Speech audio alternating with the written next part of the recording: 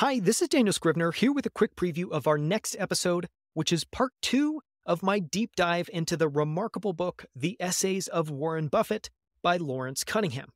In part one, which was episode 165, we focused on Berkshire's overarching business, the incredible culture that Warren and Charlie have built into Berkshire Hathaway, which I argue is their most compelling and durable competitive advantage, as well as their 15 owner related business principles and the letter that Warren Buffett sends to prospective businesses that he would like to acquire.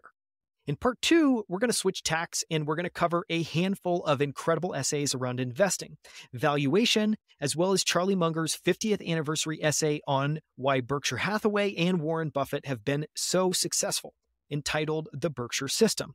We'll cover Warren's thoughts on investing, ranging from the concept of Mr. Market, which he picked up from Benjamin Graham, to his personal investments in a farm and New York City commercial real estate, to why keeping investment costs low is critically important and why the world is full of helpers who want to rob you of your returns.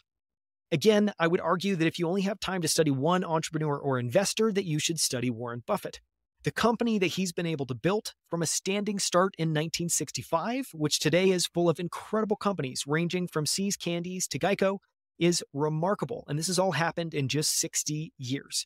There's no better way to do that than with this book. I know it's one I'll be rereading for the rest of my life.